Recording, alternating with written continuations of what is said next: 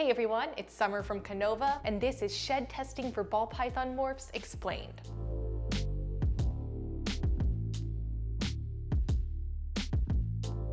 Traditionally, the only way to determine what morphs were in your snakes was either through visual identification or in the case of het recessives, really reliable breeding records. Without those two things, you would have to wait years to prove out the genetics via breeding yourself and evaluating the offspring. But now, companies like Rare Genetics Inc.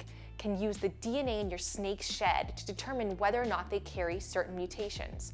As of this recording, there are tests available for clown, lavender, piebald, candy, toffee, hypo, yellow belly, spark, specter, asphalt, gravel, and now desert ghost. And Rare Genetics is constantly focused on developing more tests for additional mutations, so that list is just going to keep getting longer and longer. So now the question is, should you test your snakes? Let's look at a few scenarios where genetic testing is really useful.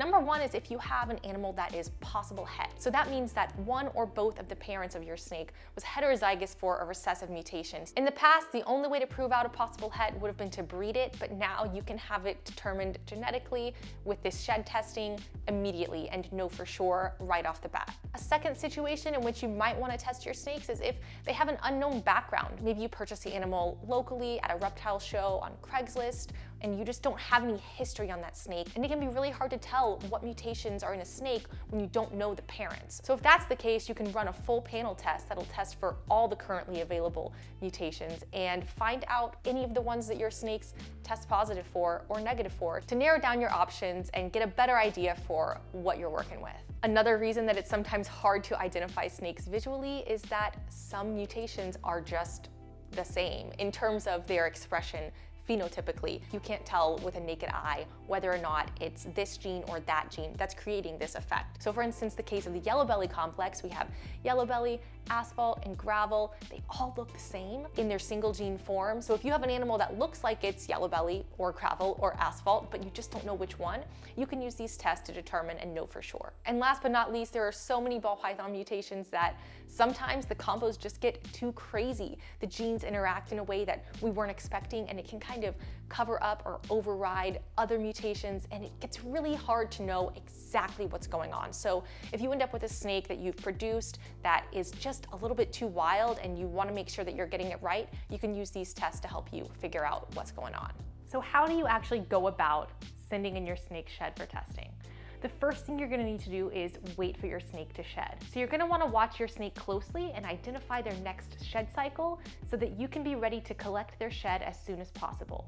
You wanna make sure the sample is clean and clear of any feces, urine, or other stuff that might make it a little bit gross and hard for the test to be performed successfully. After you collect the shed, you wanna lay it on a flat surface and let it dry fully for a day or two. After it's dry, you're gonna take a quarter size piece. Now, you don't need the whole shed, just a little bit, about the size of a quarter.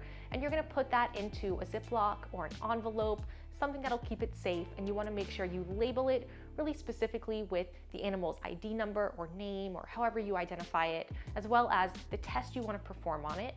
And then you just need to order your tests. You can order shed tests from Rare Genetics on Cltch.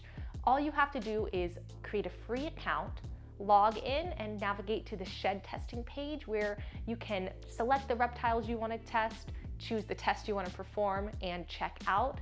Then you just need to mail in your sample and wait for the results. As soon as RGI receives your shed, you'll get a notification in the app letting you know, and then another notification when those results are in.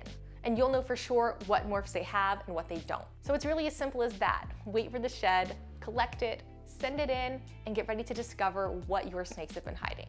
All right, so that's it. That's how you can use genetic shed testing to determine what morphs your ball python carries. We have tested over a thousand of our snakes here at KINOVA, and it has been so useful to find out for sure what mutations our snakes carry. And we hope that you find this new tool useful too. Let us know in the comments below, have you had your snakes tested yet? And if so, what did you find out? Thanks so much to all of our patrons for joining up. Be sure to check out the KINOVA University where we're gonna dive a little deeper into this topic this month, and we will see you next time on another episode of Hetflix.